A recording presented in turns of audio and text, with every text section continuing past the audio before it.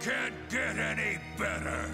I'm gonna kill both Nightmare and that loathsome woman. Then I will present Ares with the fully resurrected Soul Edge. And once that's over, I'll. Uh... Something wrong? You appear quite rattled. Enough! It's nothing. First, I'm gonna deal with Ivy. Damn it! Now my day's utterly ruined!